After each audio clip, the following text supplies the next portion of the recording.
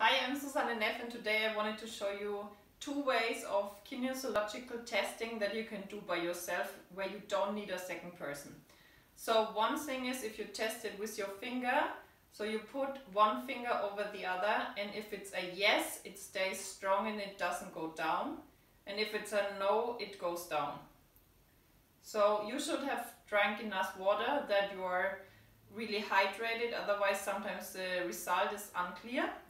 Or you can also put two fingers together like this and then make two rings.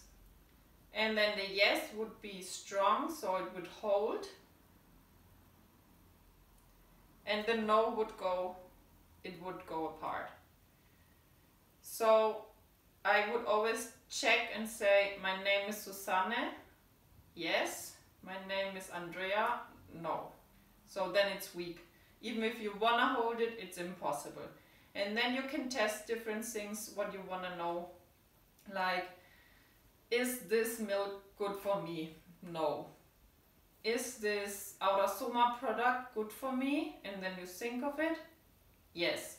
Or you can hold it in your hand or stand it in front of yourself or some uh, stand, uh, put it in front of yourself. So this is how you can test different things without needing a second person. So try it and let me know what you think about it. Bye guys.